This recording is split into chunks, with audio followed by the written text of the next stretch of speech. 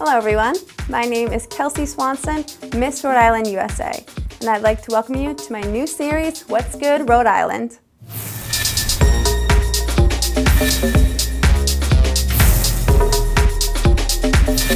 Hello everyone, welcome to What's Good Rhode Island. With me today is Rhode Island native and season 9 America's Got Talent winner, Mat Franco. How are you? Doing good. How you doing? Good. So, first off, I want to thank you for coming. I know you're very busy out in Vegas. Yeah. Tell me what's going on there and how has life changed for you since you won? Well, I do a show out in Vegas um, at the LINQ Hotel Casino.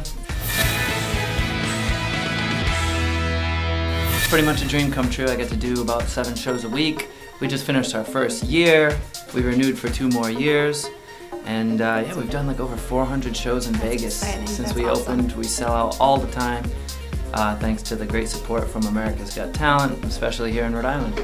Awesome. So, I'm interested in how you got into the whole magic thing and, Mhm. and who inspired you as a kid to really set that career up. I just saw magic on TV. I was about four years old, and I saw magicians on television, so that's what inspired me. Next thing you know, I'm in kindergarten, bringing it in for show and tell, and it's amazing how it all comes full circle. Uh, now we get kids at the show and families at the show that uh, were inspired to start learning magic from, from seeing me on the TV, so it was pretty cool.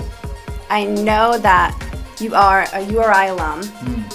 And you're making a debut back at URI. So, tell us when that happens and what you're going to be doing. Oh, I, I probably should have known the date before we started this thing, huh? really, really professional of me. No, I think Well, I know it's in like January, February. it's 'cause I February. looked it up. Yeah, it might be February 11th. Don't Okay. quote me though. No, it's in February. We should look that up. Yeah. Um, I think it's Mm-hmm. February 11th. I come back to, to do a show at the Ryan Center at URI. I can't wait. Tickets are on sale now.